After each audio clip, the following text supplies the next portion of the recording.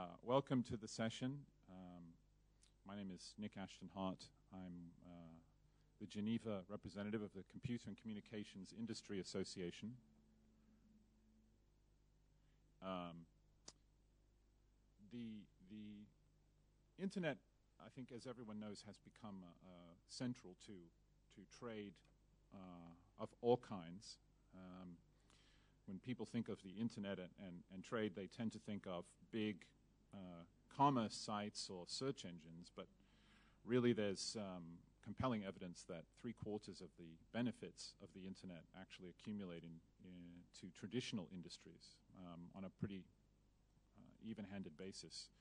Um, but the internet itself has created markets which are highly transparent and, and efficient and create um, low barriers to entry uh, to what is effectively a global online market.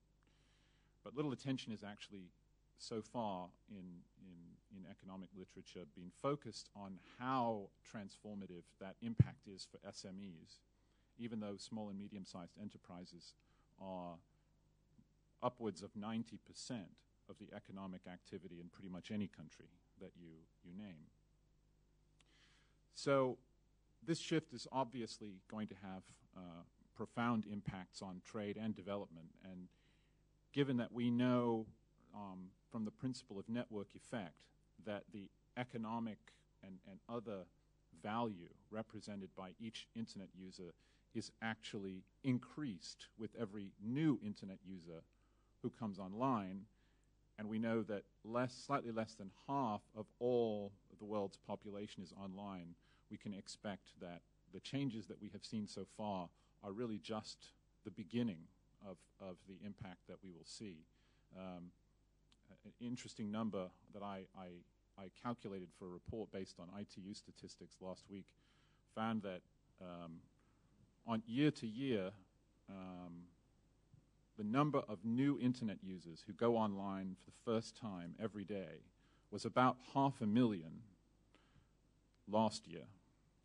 It's about 678,000 this year.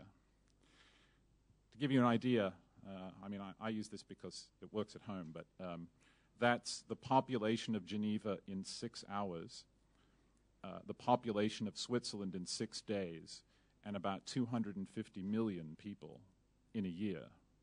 And it's accelerating.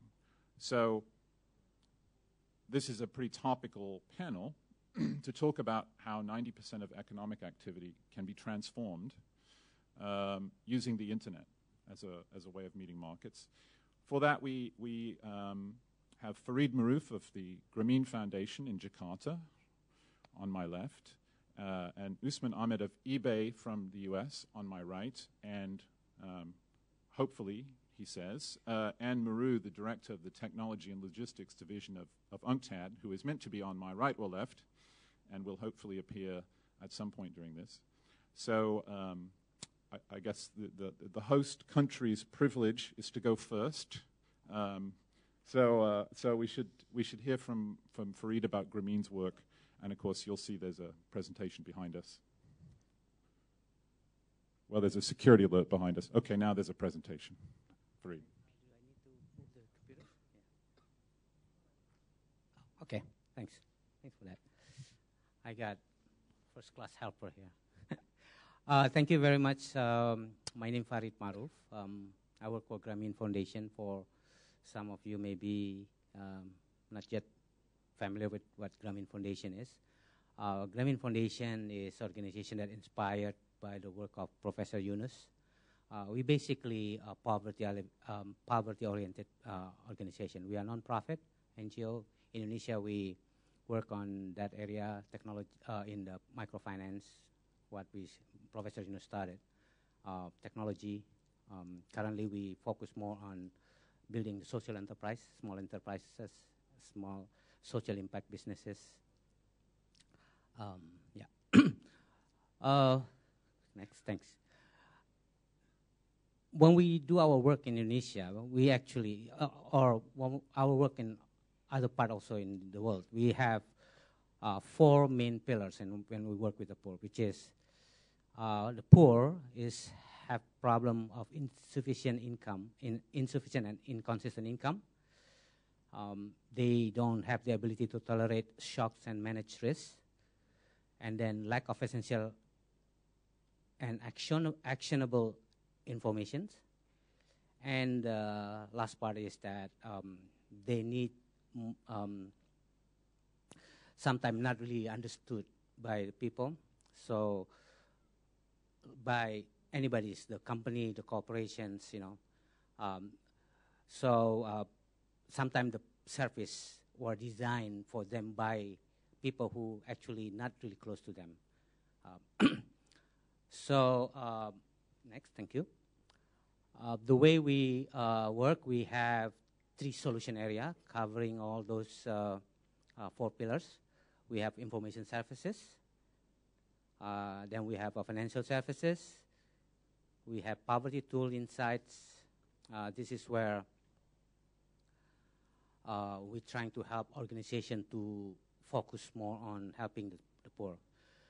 information services, uh, this is where I guess I get invited because this is where the internet uh, play a part. Uh, we built several solutions um, over the years uh, regarding health, uh, agriculture, uh, especially in, in um, Africa. When we talk about small and medium enterprises, actually our, our focus is small and micro enterprises, uh, what we call also micro um, entrepreneurs, where the business only have one or two people working with them, or sometimes they, this is a family. Uh, we provide information services for, for these businesses so they can have, get additional income. On financial services, we provide uh, knowledge, products for them, financial services like microloans, uh, um, MFS, mobile and financial services, like mobile money, um, this is later. I will tell the story why mobile money has become exciting in, in the in the in the development world. Um, and then also uh, financial inclusion products, insurance, banks, saving, and so forth. Uh, the last one is poverty tools and insight, where we created tools we put on the cloud, the internet, where organization could focus their uh, work to help the poor and measure not only targeting the right poor people, but also measure the, impact. We create a tool called Progress Out of Poverty Index based on census of uh, each country, and then we from there we ask 10 most relevant questions to to put you in where actually in the poverty score card between 1 to 100, where are you? So if the company or organization want to target this uh, uh, group of people, then they can use this and, and design the correct product for it. Next. In Indonesia, poverty, uh, this is the data that we I just got this morning from World Bank. Uh, 60%, almost 147 million live under $2.50 PPP. Uh, 64% of them living in rural area. Um, then if you look at it, Eastern Indonesia is the most uh, highest poverty incidents. Uh, interesting about this is that in internet, only 20 million uh, users, but we have 249 mobile uh, cellular numbers. We have 250 million people in Indonesia, but we have 245 unique mobile numbers. I mean, even a baby have them. But actually, because we, we like to have more, uh, some people, multiple uh, numbers, I myself have two. Some people have three, I guess. Uh, the fact is uh, that mobile penetration is 85% in Indonesia. So if you look at this, there's a 60% people poor, and then there's a 85% mobile users. There's potential for subset of poor people have this mobile phone, which is actually this is what we what we seen for the last few years. We see more and more uh, smartphone in the, the base of pyramid uh, audience.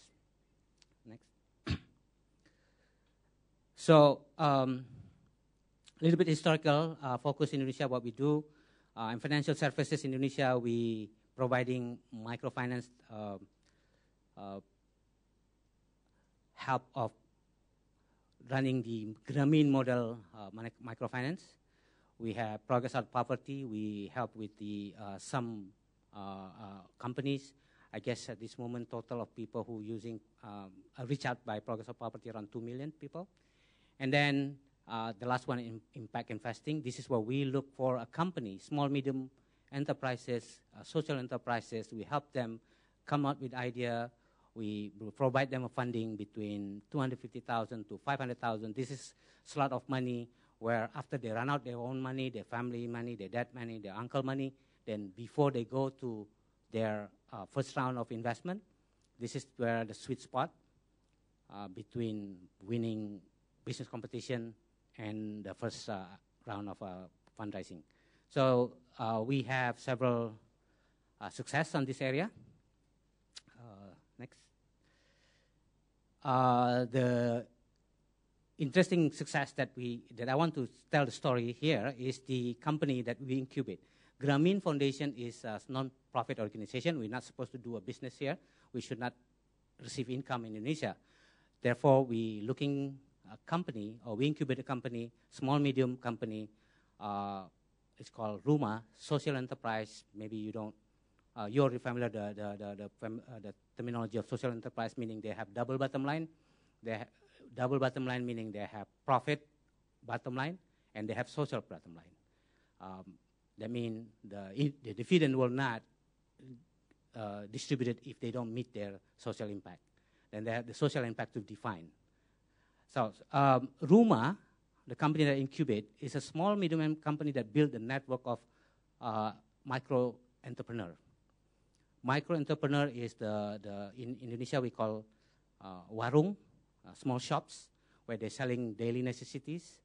Uh, we're trying to equip them with additional portfolio product, which is selling airtime uh, digital product. This is inspired when uh, Professor Yunus, when they, when they start in Bangladesh, he give it a loan, and then the loan will be used to buy a phone, and the phone then uh, rented to the neighbors. We're trying to replicate this in Indonesia. In the first three months, we find out we have uh, failed. Uh, reason is simple because everybody have phone, everybody have mobile phone. Nobody renting a phone anymore. I think some of Indonesian remember back then we have a wartel. No longer have wartel. You, you couldn't find any wartel. Some poor people have two or three phones, you know, because they have different uh, mobile uh, uh, telecom operator that offer them special package. If I call my friends, I use this Telkomsel. If I call my family, I call using XL, those kind of thing. So then we find out that one of the best way of uh, you know to, to help them is to create ability for these small shops to sell airtime. It was started from airtime, but then we uh, equip them with additional product, the uh, digital product. So the, this project was funded by Qualcomm. Um, it's an American company that uh, in telecommunication. Then uh, it's from selling airtime, the Rumah has become a very um, uh, very known for the the, comp- the, the organization that have a building a network of people, network of uh, of uh, so, uh, small enterprises.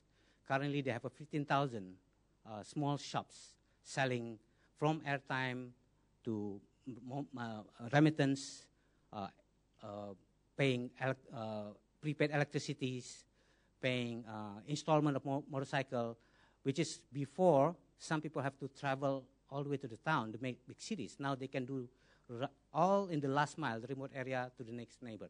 This is also create stream of income for this small warung. And uh, this has been uh, uh, seeing new ways of improvement by uh, the Bank of Indonesia trying to push mobile money. Mobile money uh, is one of the best tools to fight poverty because it's the most efficient way to transfer small money from the big city to the villages and the villages to big cities. Uh, this is will stimulate economy in the villages and at the same time villages can send money efficiently to, to their son who study in, in this city. Next. How do we, Rumah, uh, help this? This is what we call micro franchise. Basically, franchise has four elements. Mostly three elements, actually, regular franchise. But micro franchise have the fourth element, which is capital. The first one is idea. When you have uh, when you have money, not necessarily you have a good business idea. What business do I want to do? So franchise helping you to have that business idea. Number two is knowledge and tools. I believe none of you will, uh, not, not all of you could be a successful restaurant, uh, you know, business restaurant, except, you know, if you're running McDonald's. Why? Because McDonald's is a franchise, so clear what to do. You know, you have thick of books, they have uh, trainings, all the things manual. Some of them, some of you may be expert in, sell, uh, I mean, have a luck in uh, opening restaurant, but for those who never have a business restaurant, maybe having a franchise, McDonald's, uh, you know, Burger King or ice cream, is easier. So McDonald's or other franchise provide you knowledge how to run business and tools. In our case, also the same. We create knowledge how to sell airtime business, how to sell remittance, how to sell mobile payment to the, the, the villages. We create tool of them. We create server for them so they can connect, they can talk to switches to multiple payment uh, facilitator. The third one is risk uh, alleviation. That means if you run a successful business, the risk has become less for you. I mean, um, if you start going to somewhere that you never, you know, been before, there's a risk for you to fail, especially you have, you have no, no knowledge of it. The last one is capital. Now, the capital, uh, it is back to MFI that we have. We give them one day, uh, one day credit, uh, um, supplier credit, so they can sell this product for one day. Next day, we collect them. So this is the capital that we help them. Next. So currently, uh, our micro entrepreneurs under Rumah um, Yes. Oh, currently? No, no, no. Ah, sorry. okay. I thought. are one, is what you're saying. uh, you are one of the micro entrepreneur. anyway, so the, currently the Indonesian micro entrepreneur that we under Rumah can do airtime sales, bill payment, prepaid electricity, uh, you know, remittance, market intelligence surveyor, mobile money agent, financial inclusion agent. Uh, market intelligence surveyor, this is where we create tools, uh, survey tools, where all these ladies who selling, uh, um, you know, daily necessity, this like this warung, uh, could become a surveyor. They can act as a, a, a enumerator to ask certain thing about, for example, about environment, about uh, products. So they every survey that they, they conducted, they can get compensated and this is easier for us to compensate 10 cent, 1 cent because we're using airtime to transfer that, that money to them and then they can sell it again. So, I mean, this is how efficient. Otherwise, it, it's very difficult to, to, to distribute 10 cent to, to uh, physically 10 cent to people. Mobile money agent, this is where they can become uh, cash in, cash out for mobile money. People can come to them later on and collect a, uh, uh you know, if they want to transfer, they can deposit, or if they want to cash in, they can uh, cash out, they can ask the money. Uh, this, is, this is a very good uh, model because problem for many mobile money agents is that they managing the cash flow. I mean, there's a lot of people more cashing out rather than cashing in. Uh, so sometimes mobile money agent facing a problem, uh, you know, have no cash. But if they have business, then they, ha- they the, the income from the, the their business can become uh, pro- cash flow source financial inclusion agent. Uh, we're trying to work with some banks, so they become agent of collecting saving. So the people and uh, the poor doesn't have to travel so many kilometers if they want to do saving. They can go to these uh, ladies and then they deposit the money, and then the lady will deposit it into the bank through their account, and then the, the confirmation comes through phone. Next. Um, so this this is what we've been done uh, so far uh, App, AppLab is the thing that we developed during the Rumah the incubation. Now we also entering the inclusive business tool we call TaroWorks, where we expand our coverage. Not only we and uh, focusing on the, the, the, poor, but we also focusing on the organization who help the poor. And this project also get helped by um, eBay uh, we get grant from eBay to create a marketplace. So part of the TaroWorks will be marketplace for the village and the people to uh, promote their product, sell product and services based on location. Uh, currently, we are focused on agriculture product. Uh, next. Now, um, where do we go now? Um, we, since we said we are going to small, medium enterprise, micro below, so we want to cover these three, three areas based on the knowledge that we have from other parts of the world, which is mobile financial services, poverty insights, and agriculture information. Ideally, uh, with the project that we just uh, completed, um, um, with the help with the eBay team, uh, we want to create a marketplace where farmers could getting additional income, not only from their farming, but also from other services like providing a input supplier to the farmers surrounding them. Input is uh, seed, fertilizers, those kind of things. And uh, also, they can. Uh, we have a project uh, program in in uh, Uganda where farmer providing um, knowledge, farming practice, and for every farming practice that they deliver, they get compensated. Um, also, we have a project where farmers become a enumerators to collect data for certain organizations like FAO, World Food Programs. So farmers uh, could, could receive additional income. Um, yeah, actually, this is the last one, but I want to, in the context of how helping the SMEs, uh, there's another slide actually, uh, backup slide. This is one of the projects that we completed here called Kerja Lokal. Kerja Lokal is a, a job market for low skill, low income uh, work, informal work. Now, the system is, is, uh, is smart enough to get this information of what kind of work that I'm interested and where is my, where is my location and match it with the supply of the job that closest to my location. So if SME looking, for example, there's a SME working in uh, furniture looking for carpenter, they will look for carpenter actually that look that close, living closely, not from different island. So this job uh, market enable for both of them to be connected.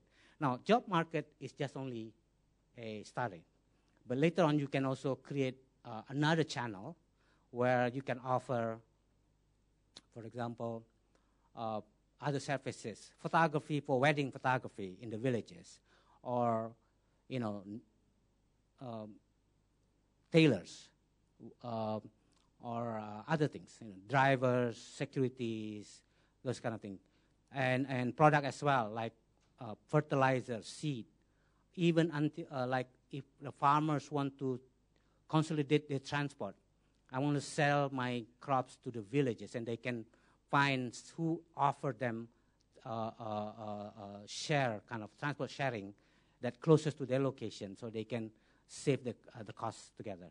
So this is something that we are working with um, marketplace that we, we built currently to expand that and um, Uh, the other part of the we we also looking to implement this in Philippines and also in some part of in um, Africa. So that's actually the, the way we as uh, Grameen work on the small and medium micro enterprises. Um, thank you. Thank you, Farid. Um, well, we, we, we have enough time that uh, we could take a couple questions for Farid if you like before we, uh, we turn to uh, eBay if anyone has anything in mind. Otherwise, you can think of some.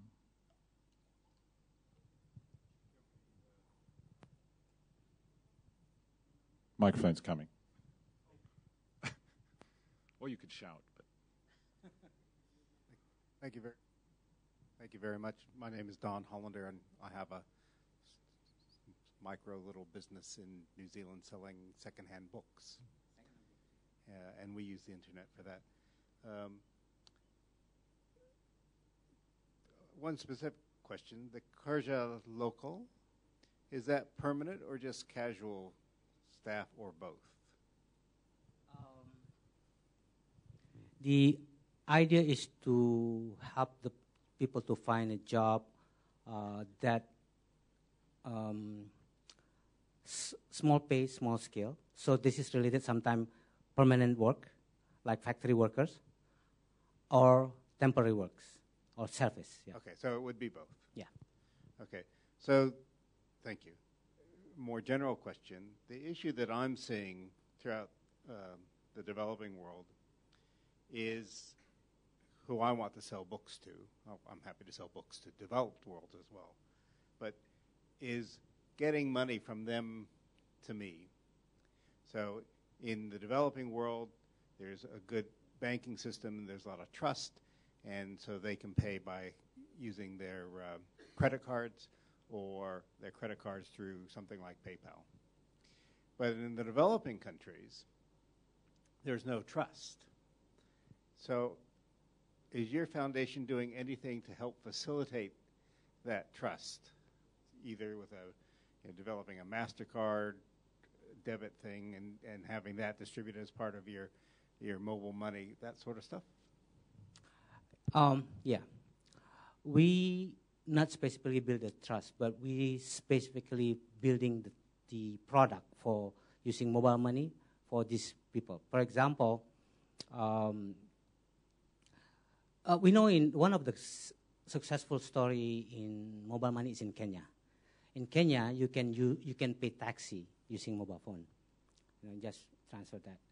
Uh, but as they said, you know what happened in Kenya not necessarily could happen in the other part of the world. So uh, the there is no other success uh, stories about mobile money except probably Tanzania, but other countries trying to, to to replicate this. So it is related when it, when it comes to trust. It related to the government's uh, uh, uh, intervention, you know, to ensure that the organization that engage in that mobile money is not going to be embezzled. You know, you know, those kind of things.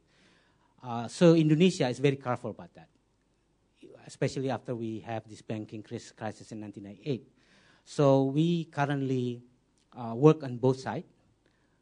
Uh, the, the people who work on the mobile money, working from the private sector side, which is helping the company like you to understand the, the benefit of mobile monies, you know, the micropayment, those kind of things, and also from the regulatory, which is working with uh, Bank of Indonesia, banking industry, telco industry, to make sure that you know there's a uh, healthy ecosystem. Our, our uh, part is not doing that. What we have the ability is that we can train the agent of networks. Agent of network, the people who get the cash in, cash out, yeah. and uh, finding the products. What kind of product actually matters for the poor? Um, one good example, um, I think, is a little bit uh, off from your question, but to, to give you, uh, um, you know, why the product for the poor is important, is that in Uganda, we found out one of the product that interesting that people like is called me to me. That means you sending money to yourself. It doesn't make any sense, right? Why do I sending money to myself? But for the poor people, where they sometimes they don't have enough cash, if they have cash a little bit, their family start coming to them, asking for the money. The husband can start, you know, asking the money from from the mother. So they're sending that money like two weeks ago and ahead to to ensure that when they need, for example, the, for the kids, the money will arrive. So this kind of thing only can be found if you work right on the poor and design the product from there. So this is something that when you start building the, the, the benefit, then I think the, the, the trust start building. Well, and, and conveniently, PayPal is a part of eBay, and so Usman can can speak about that some more. So uh, over to you, Usman, for your. Well, uh, yeah. Oh, sure. Certainly, you could certainly start with that.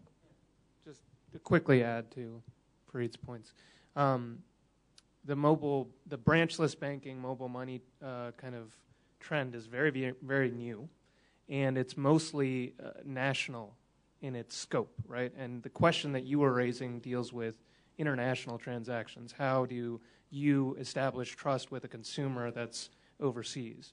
And so, yes, PayPal is one of the examples, credit cards. Um, these are methodologies for doing that.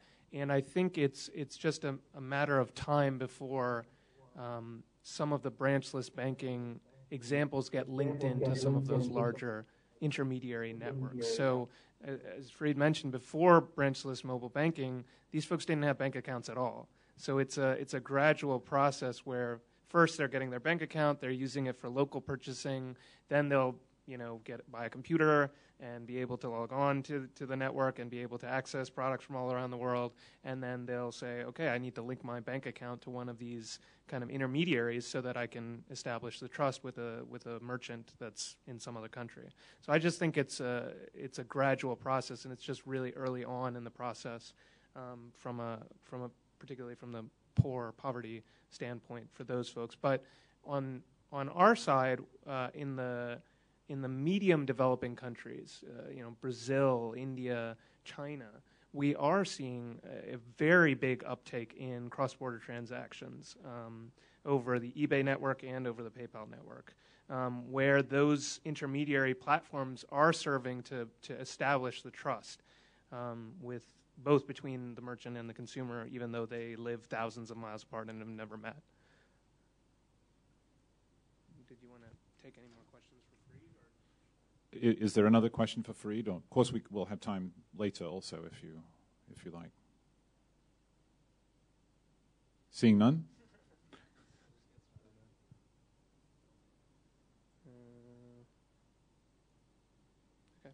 Uh, thank you very much, Nick, for setting this up, and everyone for for coming in. I hope we can. Uh, I, I, I, really think that this is a, a very nice segue from Farid's presentation because uh, eBay is actually representing a very similar kind of cohort of uh, micro and small businesses. When somebody hears the name eBay, they might think of this giant internet company, um, which is sort of true, but it's actually built uh, and established by a, a, large amount of small businesses, micro enterprises, also sometimes one and two people, oftentimes one and two people, all around the world. Um, and it's really a network and a platform for those folks to be able to access customers and, and trade in their products. And then on the PayPal side, uh, you have it used for basically anything that goes on over the internet. If you're a blogger and you want to take donations for your blog, uh, your blog may be read by people all over the world, and donations may come in from people all over the world. Um, if you sell digital goods or you're an app manufacturer, you need some way to accept payments, and these apps are bought all around the world, and PayPal serves as a method for you to accept payments from anybody anywhere. So the the trend I'm going to talk about uh, is interesting, I think, for IGF because IGF, uh, from what I understand, this is my first time here, um, is focused largely on the internet infrastructure aspects of uh, of the internet. And uh, eBay, PayPal, these are applications built on top of that infrastructure. And the people using them are even further from the, the, the kind of infrastructure discussions. But I think it's really important to understand the benefits um, that everyday individual entrepreneurs, businesses are experiencing as a result of the power of the internet. And I think that helps to um, kind of give some context to the, a lot of the debates that happen here around. Um, you know, privacy or data protection or some of the, you know, infrastructure issues. Um, I think understanding what's happening on the lower levels of the stack really helps to frame that. So uh, that's that's really what I'm going to talk about is how the the open internet, the internet infrastructure, the global internet, is enabling anyone anywhere to engage in global trade, and this is a very new and exciting trend. Um, so here's a picture of the global internet and uh, it moving over the course of a day. This was actually made by a hacker who who hacked into uh, I believe 400,000 computers all around the world and uh, you know uh, lit basically created this graphic that lights up and shows where activity, where computers are logging onto the internet. Um, so that just gives some context to how global the internet is, which is something you all know. Um, but I really want to talk about how the internet is changing commerce because that's what our company does and what I what I work on. Um, and I think it's a, a very unique um, change that's really never before been possible and never happened. And Farid, Farid really talked about it on a local level where you have these individual uh, small businesses that are accessing their local customers and learning about their local customers in very new and exciting ways and using data to enhance their processes. What's happening over eBay is really cross border transactions. So, a person living in New Zealand, for example, accessing a customer in Mexico. And there's the, the platform of eBay creates the trust for the retail purposes, and the platform of PayPal or credit card creates the trust for the transaction purposes.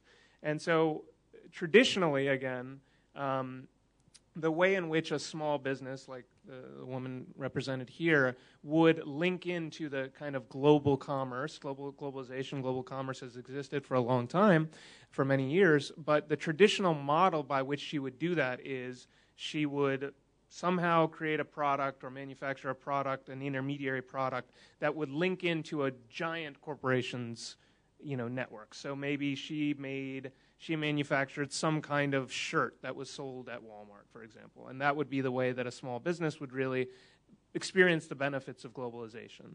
And that's how they would access consumers, because if you're small and local, it's very difficult for you to be found in an offline context. And now, uh, just to reiterate that uh, in a more you know robust fashion, you you would have a very kind of standardized supply chain that got created, where the manufacturers in one country, the distributors in another country, you have an export handler who helps you, you go through a container ship, and, and on and on and on. It's a very traditional model for trade where the manufacturer you know, makes some intermediary product and it goes through this chain uh, with several players in between to eventually get to consumer. And what we are seeing uh, in the internet age um, is a, a vastly uh, more efficient model, I think, um, where a lot of the traditional players have been kind of disaggregated, disintermediated, I guess is the term. So you have a, a manufacturer and internet retailer. So the, the same person who manufactures a shirt, let's, let's take as an, an example, um, is able to go on the internet, create a website for their shirt, and be able to access customers in other countries or in their locality. And then they simply utilize either an intermediary marketer to get their name out there more or a shipping company to actually ship the physical product. And that's really the only connection between them and the consumer. Otherwise, it's a very, very direct connection. Whereas in the classical model, you had you know nine steps between that initial manufacturer and the consumer. So a, it's it's it's not to say that this model will completely kind of take over the old model. There will there are efficiencies to having uh, you know a large supply chain, but there is this parallel new model that's particularly being used by small businesses. That's that's very exciting um, and very new, and it's also sustainable. So we're we're talking about sustainable development. I think a lot here at IGF, and the interesting part of this new model is that it is quite sustainable. So let's say, for example, you have a manufacturer who is again also has a website and creates a, a retail website in Turkey, for example. He uses an intermediary marketer or a shipper in Thailand and accesses a consumer in Japan. That consumer buys the, I keep using the example of shirt, but let's say, uh, let's say book, let's say computer, let's say laptop computer, buys the laptop computer, oh yeah, book was a good example, uh, buys the laptop computer in Japan and uses it for a while, decides, eh, I don't really like this laptop, and will utilize an intermediary marketer, marketer and shipper in Nigeria, and it's bought by a, a, consumer in Cote d'Ivoire, and then that consumer in Cote d'Ivoire uses the iPad, the laptop for a little while, decides, ah, I don't really want this one anymore, uses an intermediary marketer in Colombia, and ships to a consumer in Brazil. This model is actually possible right now there are intermediary marketers and shippers in all of these countries I've mentioned, and they would enable these uh, these businesses to access customers in these markets. So this is not a kind of a you know yeah hypothetical. This is this is real. This this happens um, in the modern internet economy, and we call this trend the global empowerment network. That's kind of the the term we have used to capture it. And again, it's it's kind of a, a new model, a model where anybody, anywhere, any size business can engage in the global global market. And what is needed for that is really four things. Uh, you need the internet, obviously, that's all we've been talking about. Um, you also need some of the services that you know are part of the are a part of the system. So whether it's marketing, uh, financial services, uh, and then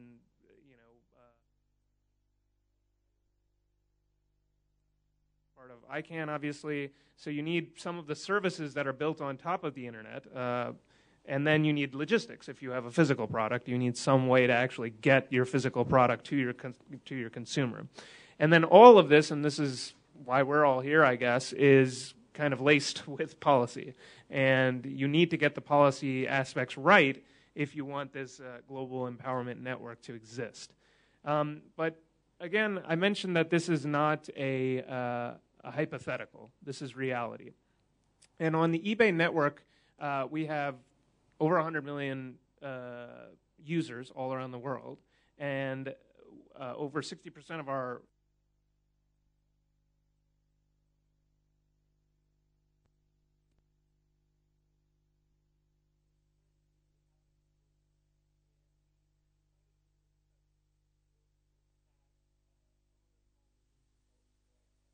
really small businesses. So we, we looked at only those sellers that were selling $10,000 or more in a year. So that's not that much money to be selling over the eBay platform. But they might have their own website, they might use Amazon, they might use different methods to access a customer. So we said $10,000, that's a pretty small business. Let's look at these guys. And we looked at them in Peru, just as a kind of an exemplar of a developing country, uh, to see what are the trends with these types of sellers. $10,000 or more, you're living in Peru, you're utilizing the eBay market plat- marketplace platform to sell your physical products. What happens? What we found was pretty interesting. 100% of those businesses export to different markets, all of them. Every single seller we looked at had used the platform to export. Whereas in the traditional offline context, the, the figures that Peru publishes as a country, uh, only 14% of their businesses export. So just that sheerly in itself demonstrates the power of the internet. That you can instantly connect to a consumer outside of your, your you know, locality and export to them and establish trust. They reach 25 destinations on average. That's on average. That's not all of them put together. That's on average, they reach 25 different destinations. In the offline context, it was three. Uh, market share of newcomers is a very interesting figure because if you think about exporters or trade in the classical sense, it's done by traditional sense in Peru. Newcomers only were able to capture 2% of the exporting market, a very small share. But on eBay, newcomers are 20% of the market. Uh, the survival rate is much higher on, on the internet than it is in the offline context. And then this, is, this last point is, again, uh, very similar to the newcomers argument, where it says the concentration of sales to the largest 5% in, uh, in, in traditional Peruvian trade is 91%. So the largest 5% of the exporters have 91% of the sales. Whereas on eBay, the largest 5% of the exporters only have 16% of the shares. So it's very, very flat in terms of you know, who can access the market and who can benefit from it. So the same thing held true when we looked at Indonesia. We're in Indonesia, so I thought I'd show the slide. Very, very similar types of findings. You know, similar rate of exporting. All of them export. They all reach you know 30 plus countries. We didn't have offline data to compare it to, but I imagine the offline data is similar to Peru. Similar type of market share for newcomers, similar survival rate, and similar concentration of sales. So very very high numbers when compared with offline trade, just to demonstrate how significant the boost is from the internet. And uh, oh, that second thing wasn't supposed to show up, but uh, the the chart on your left uh, is, I think, one of the most fascinating charts ever, but it's kind of uh, wonky and, and a little bit dense. So I'll try to just simplify it a great deal. We did studies looking at Peru, Indonesia, Ukraine, uh, Thailand, uh, uh, Chile, um, South Africa, Jordan, a number of developing countries. And then we did studies looking at the US, the UK, France, Germany, developed countries, the, the largest developed countries. And the findings from those studies were exactly the same. So, uh, to describe that a little bit, if you look at traditional exporting between developed countries and developing countries, the, the figures are vastly different. You know, developing countries are just getting into the global nature of trade, and developed countries dominate it. But if you look at the internet platforms, it's really a flat marketplace. It's really the idea that the opportunity exists exactly the same for that business in Peru as it does for that business in Germany. And there's the figures to prove it. The share of exporting is exactly the same. They reach the same amount of export destinations. They survive at a very similar rate. The concentration of sales between the biggest players and the smallest players is very similar. We weren't, we didn't do this on purpose. We did all of these studies completely separately. And when we created this chart, we were surprised that it was this flat, that there was this much of a similarity of opportunity between you know, some of our really, really big sellers in the UK and Germany who have 70 plus employees, and some of our really, really small sellers in Chile who have no employees. Very, very similar statistics. And that demonstrates really, I think, for the first time, how flat the internet can make the marketplace, can really connect consumers and merchants in a way that was never before possible. And this thing that came up is just a case study, an exemplar. You know, Kana Jewels, a husband and wife team in India, had a local jewelry shop sold to the people who walked by their store for a few years, for several years. Went online, I believe, in 2002. They have, they're now employing 30 plus people, and they're selling all around the world. Say Asia, North America, Europe. I mean, this is the opportunity. This is the real stories that are happening.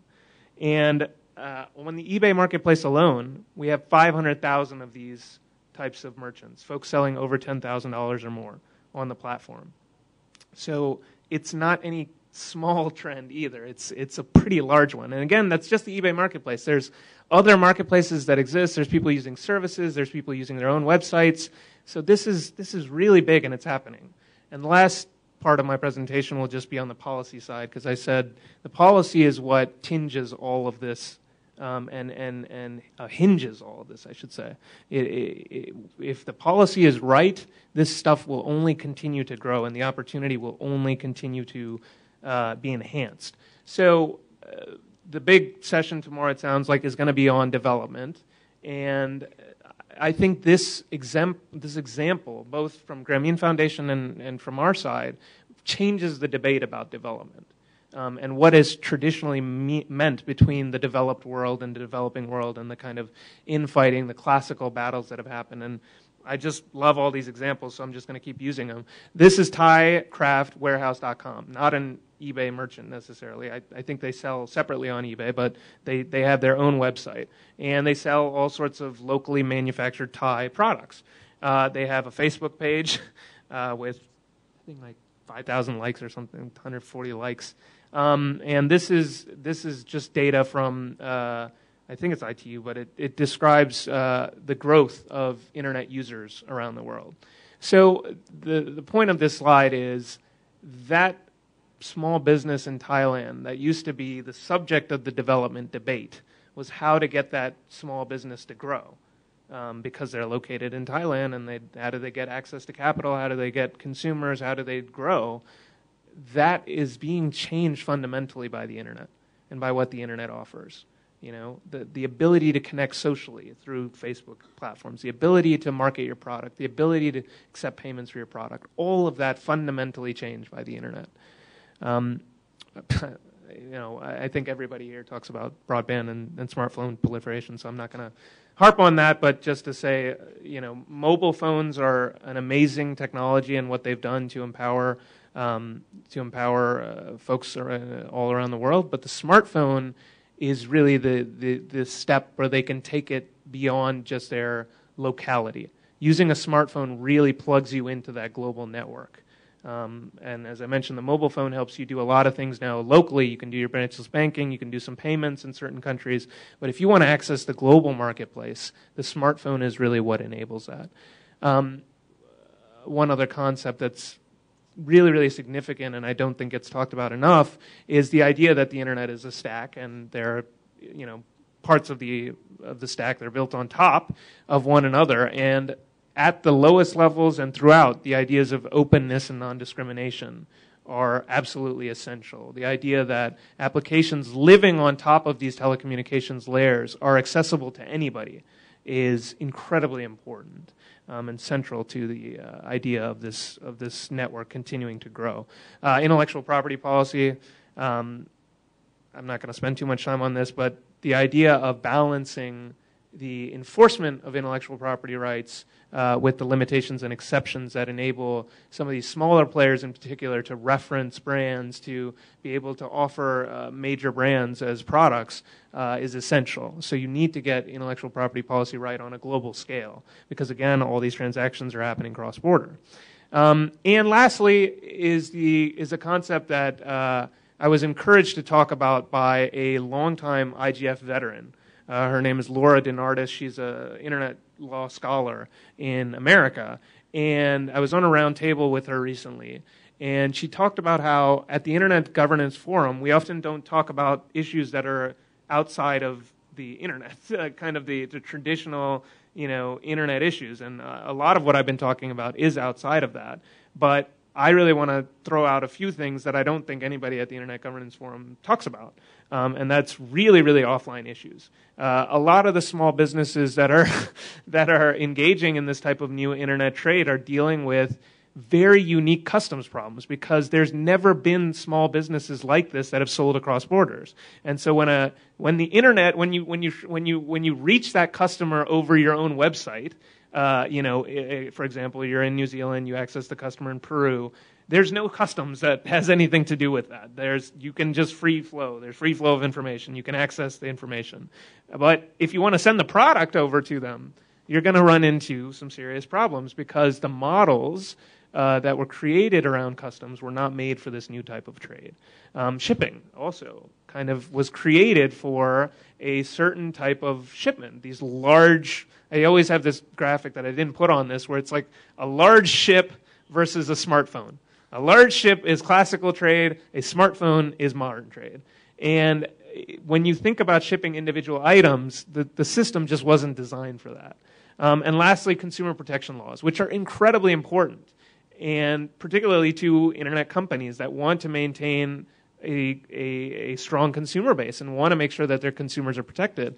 But having to deal with 100 plus different regimes all around the world is incredibly difficult, not for eBay, for the small business that's on the platform and reaching the customer. They're the ones that are going to be responsible to all these different authorities. Like I showed you on this other slide, you've got some small business in Indonesia that's reaching 36 markets right? They don't know the laws of, of, of, the, of the 36 markets they're reaching. And so the idea that they can meet all of the consumer protection requirements, the different consumer protection requirements, is unlikely. And so harmonizing those and working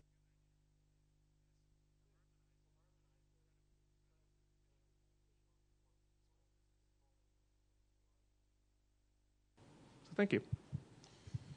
Well, thanks very much. Uh, I somehow have a feeling that we'll get a few more comments from uh, from you, given that you're actually doing a number of things that that are that are said. Um, are there any comments, questions, observations?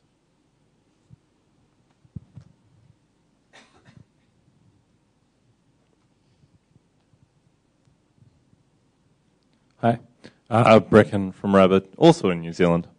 Um, I've actually been looking into payment stuff recently on some of the stuff New Zealand is adding. Uh, we've got a joint venture going between the banks and the telecoms to do with mobile payments and enabling that over the next couple of years.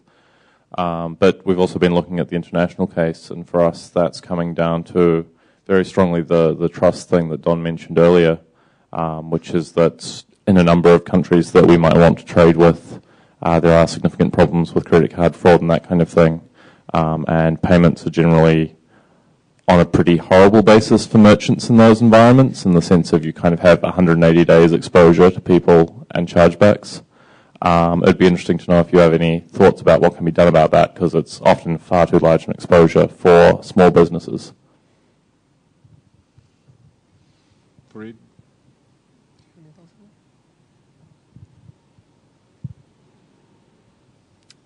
So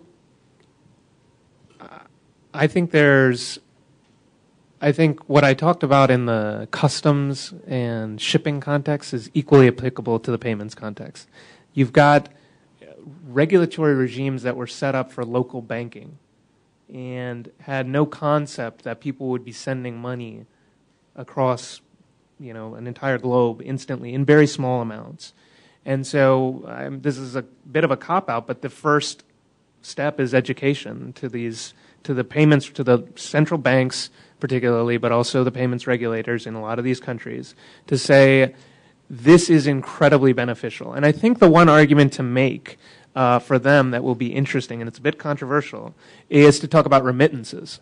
Um, very, very high rates uh, on remittances to a lot of these countries. Um, but they want those, they want that capital inflowing to their customers. They're less, they're less happy about their customers buying stuff from overseas um, and using payments for that purpose. But I think discussing the argument with a lot of these government officials from the idea that you've got this, these powerful um, communities of immigrants in other countries and they want to send money back, but they have to deal with these horrible regulations that are equally applicable um, and that, that cause tremendous amounts of problems for inflows of capital. So if you reduce your, the regulatory burdens on inflows of capital, and this, you, you want to get it so it's the same for exflows, um, then you really can, can, can um, add a lot to your consumer economy.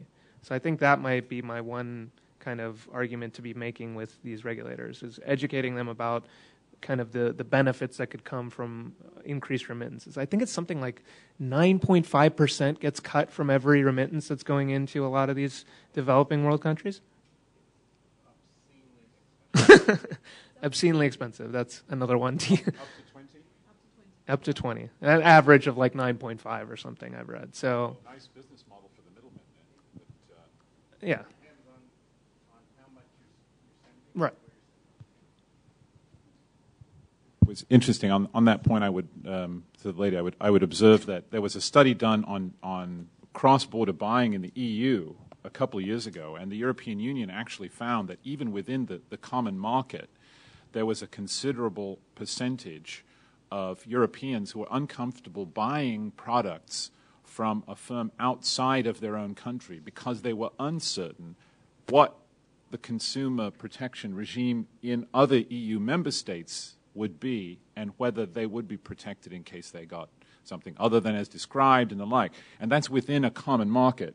Um, so it, it's really true. Not only, uh, not only can a, a, merchant not really understand what may or may not be his or her obligations, but how is a customer to know how their national consumer protection laws interact with the laws that relate to the seller in the country of origin. It's not, you know, it's not feasible with 190 countries. But please.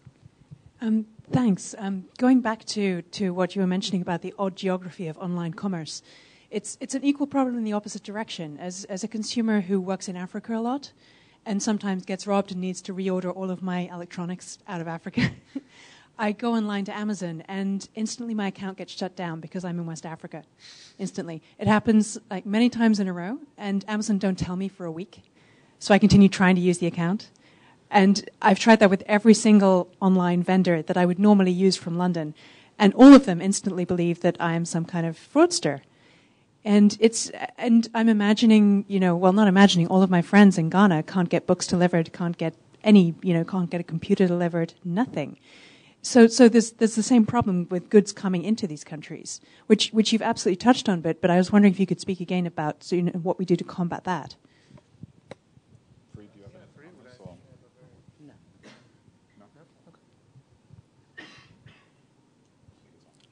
Uh, simple first step trade facilitation agreement at the WTO would be very, very helpful. Uh, one of the reasons, uh, am I allowed to defend Amazon? I think I am. Um, one of the reasons, no, I'm joking. One of the reasons I think that they have difficulty, right, is uh, some of the regulations that you have to deal with in, in those countries aren't even readily available. So you don't know what you'd potentially be dealing with if you allowed a consumer from that country to to purchase a product over your network. So that's a first step, uh, is for the intermediaries to be able to understand what they're dealing with. So I think that's one step, and I would offer that as a defense for the intermediaries. Um, the second step is the, uh, something I mentioned earlier. This is all quite new um, and gradually, gradually growing. And so the, the ability to be able to pull off these cross border transactions as an intermediary in any kind of broad fashion requires a large amount of data about the particular uh, consumer base and, and, and area. And so it's just such a new phenomenon in Africa in particular. I actually was on a panel once with a gentleman from Nigeria, and he was very upset about PayPal's practices in Nigeria and, and our, uh, you know, the, the ability to be able to, to buy products from Nigeria using PayPal. And my response was the difficulty is the internet makes you global instantly and so you, and we want to be global and we want to serve everybody, but there has been, you know, examples of frauds in, in those countries. And without an adequate amount of data and without an adequate consumer base in those, those countries, it makes it very difficult to be able to provide the service. Um, so I, I just think that you know one of the issues that's discussed here a lot connectivity access as that grows as more and more people log into the network you have more and more data and more and more ability to be able to offer strong services in those countries. Again, not, not a great answer, but I, I think that's part of it.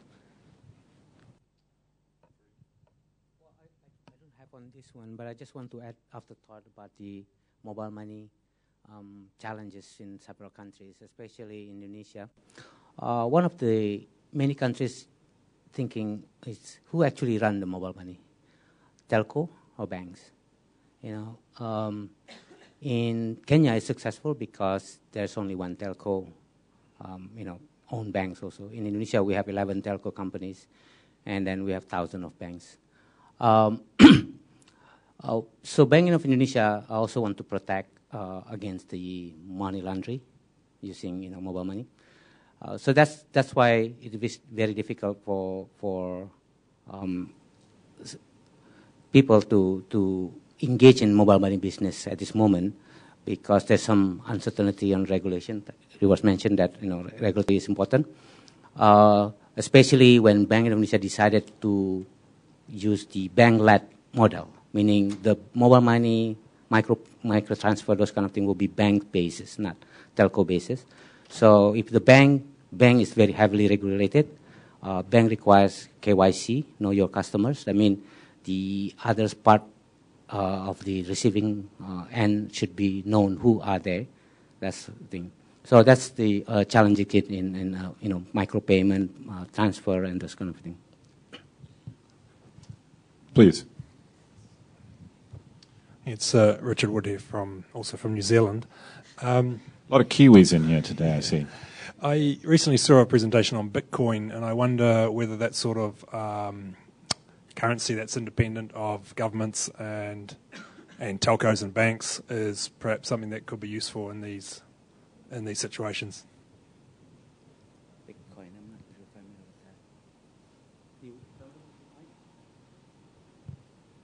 I was telling Nick earlier, in my personal capacity, I've been doing more research on Bitcoin, and I think it's fascinating. So I'll answer from my personal capacity, uh, and there, that's one of Bitcoin's promoters' strongest uh, points about why Bitcoin is a, is is a potential development tool is that it would greatly reduce the cost of remittances. So you wouldn't be subject to kind of the, the high fees that are associated with central banks if you were able to transfer remittances over Bitcoin.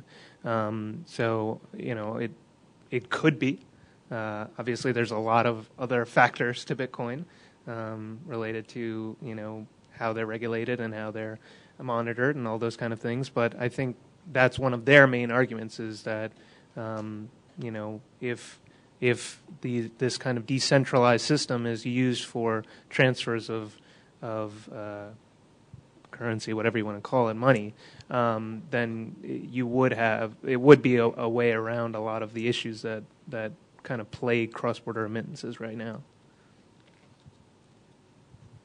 It's interesting. I'll tell you an interesting anecdote. Well, we wait for hands to raise. Um, I was speaking to the um, the WTO ambassador of a a um, Southeast Asian country. I'll leave it at that.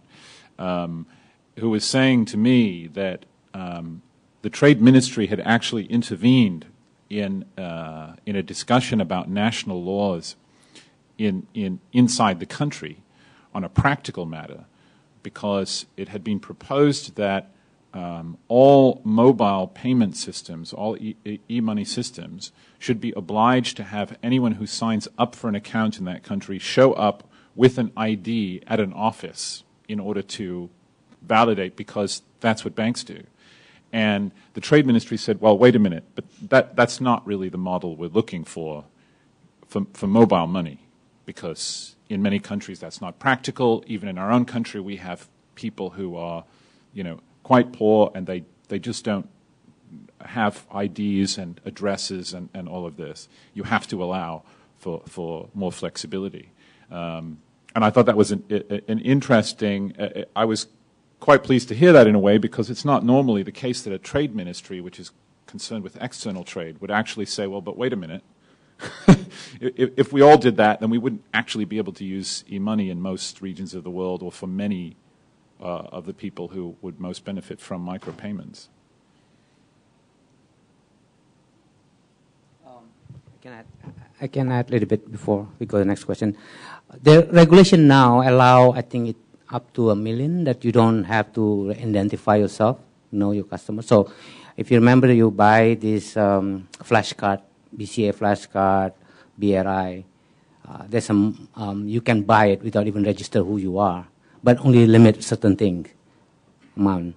But um, to use mobile, and the mo- biggest challenge is the agent of that in the villages because that they were the one who handling money. That would be difficult uh, for a bank to to just let go. Uh, telco can do it. So that's one one of the reason. Um, you know, mobile money is still under currently under the pilot project. Banks of Indonesia are learning. Um, I think the end of the the tax work of the regulation has been two, three years. The pilot started in June, supposed to be finished in um, December. From there, they probably know how to engage the last mile agent um, because the key element is that in the mobile money you should convenience finder where you can get the cash out of your system or pay that. That's that's most essential on the mobile money.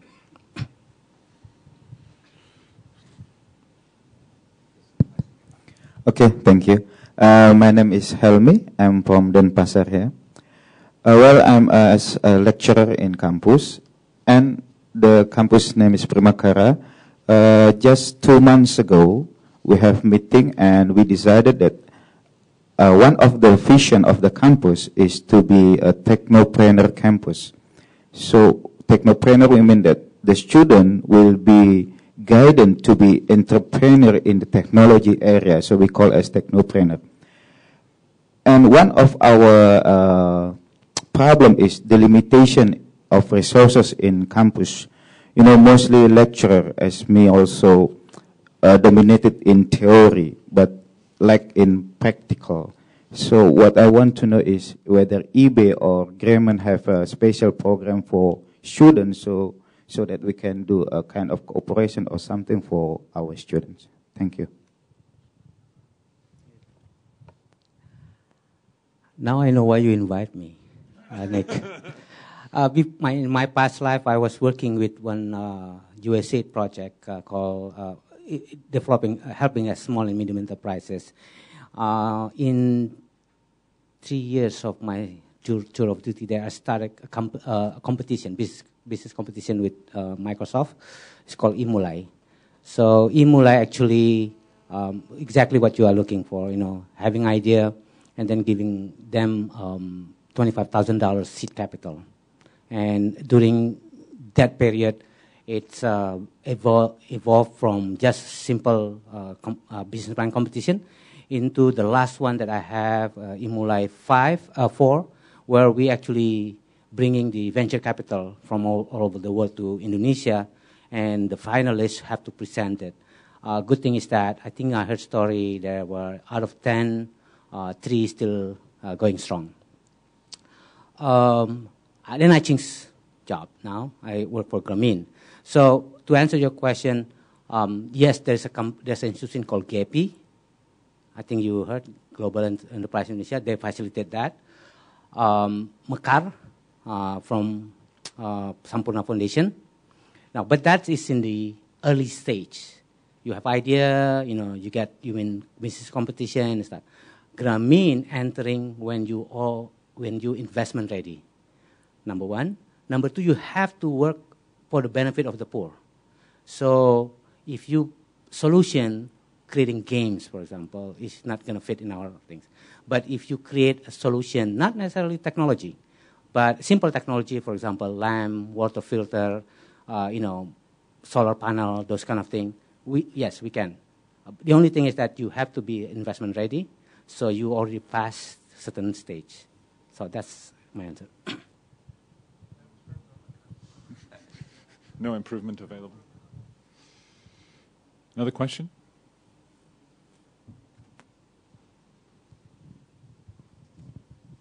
So I, I have some uh, some questions, but I'll just make some some comments uh, in terms of consumer protection. Um, from our perspective, we operate in New Zealand, and uh, but it is a challenge for the consumers. And and what we do to protect ourselves in terms of payment, so that we don't have this 180 days later we get a call from the bank. By the way, that credit card uh, transaction bounce is we use trusted intermediaries. So we use Amazon and AbeBooks and Biblio and and so forth. And eBay would be a, I think, a trusted intermediary. Uh, I'm not sure.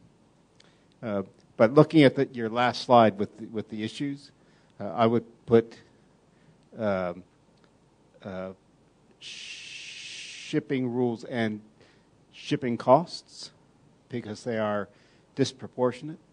Somebody from the UK can send a book to New Zealand for half of what it would cost me to send the same book to the UK. Uh, and the other point that while we serve uh, international markets, that's about 40% of our, our business is exported books. We also do a lot of business to rural New Zealand where there aren't a lot of uh, bookshops. So you can service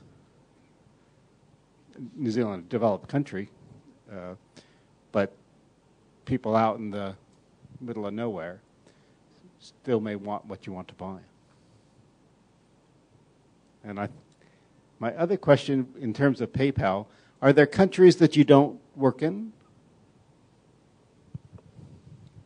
Well, we're we're available to users, which is kind of a, a broad term, uh, meaning you can sign up for a PayPal account as a consumer side uh, in 190 markets. Uh, but from a merchant side, it's a little bit, I, I don't know the exact number, but I, I, believe there are certain markets where it's more, where we don't offer the service right now. So Nigeria, perhaps, or Nigeria, Nigeria would be an example. um, yes. And is there any way for me to put money into somebody else's bank account if I have their banking details? Uh, yes, there's a uh, there's um, called it's called the send money feature on PayPal, yep. uh, where you can directly send something to someone else's bank account, um, and it utilizes a, tech, uh, a service uh, we'll call it called International IAT, uh, which stands for International ACH transaction, and ACH stands for Automated Clearing House. Um, but it's the idea of, uh, you know, these bank uh, these banks have set numbers and they, yep. they transmit information. So yes, you can. Okay, I could have used that the other day. Thank you. I believe we have some a question from uh, remote participant.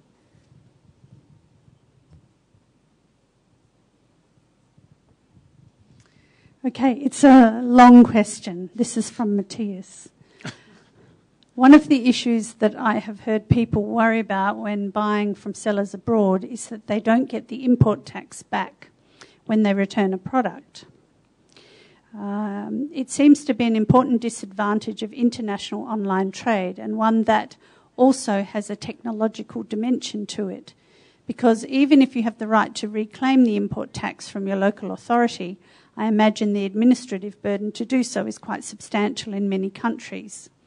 Have you applied any sort of moonshot thinking on this problem? It seems that we'd almost need to have a global customs equivalent to the global marketplace that platforms like eBay provide in order to really establish a level playing field for the small sellers engaged in exporting. Can I just say I've been a victim of that in Switzerland myself because Switzerland does not refund duty and VAT even if they the goods are, are returned. So, uh, Switzerland, actually, the example I'm going to use is from the U.S. This is actually a quite a problem in the developed world, let alone in the developing world. Um, in the U.S., uh, if a small business shipped a product to a consumer in Switzerland, let's say, for example, and then this consumer in Switzerland didn't like it, sent it back. To get your customs duty back uh, as a merchant in the U.S., you have to fill out a five-page form that's in paper. You can print it in PDF.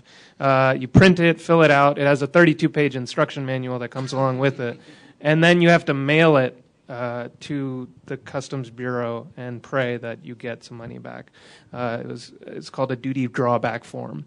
Um, and uh, we lobbied quite hard on that because it's just simply absurd. But it was designed, the, the, thing, it was designed for a different world. It was designed for a world where some giant manufacturer was getting a product back from their intermediary, you know, warehouse or whatever.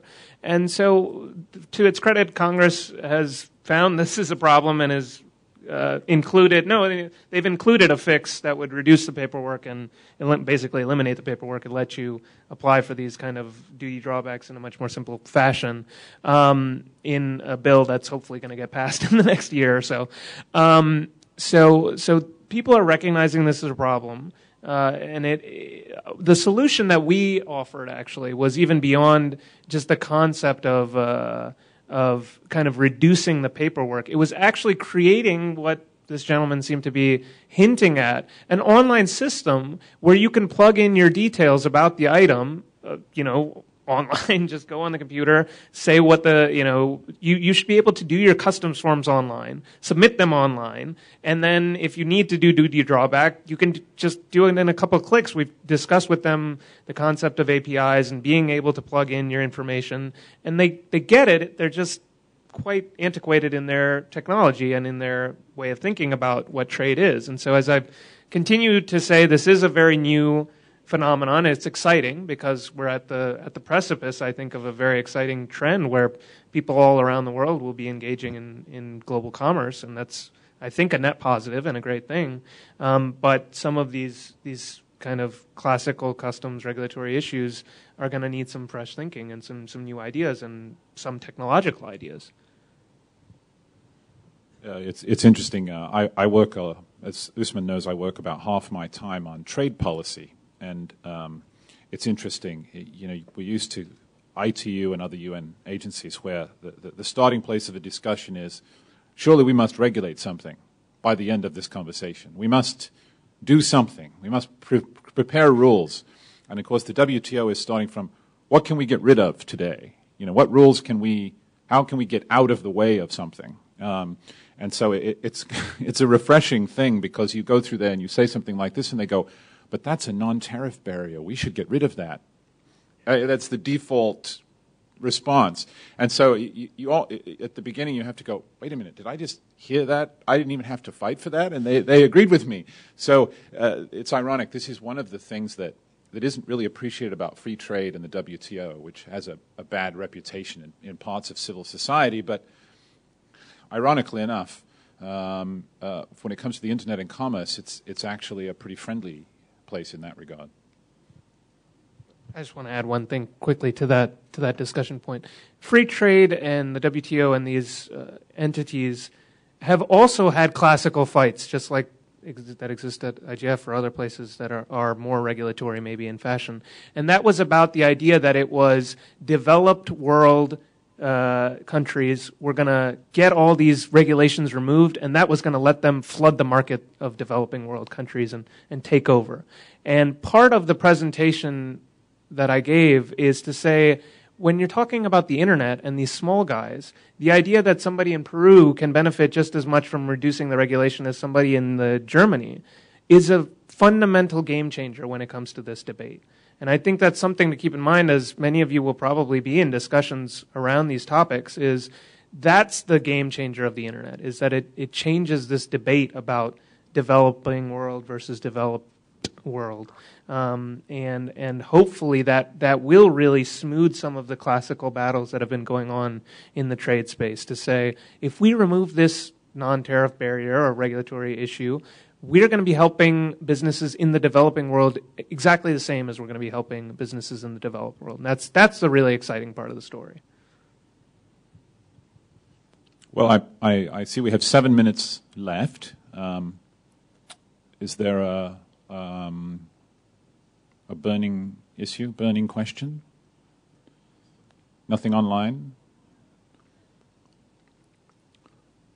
Well, I guess we can wrap up. Uh, Farid, do you have any final thoughts you want to offer?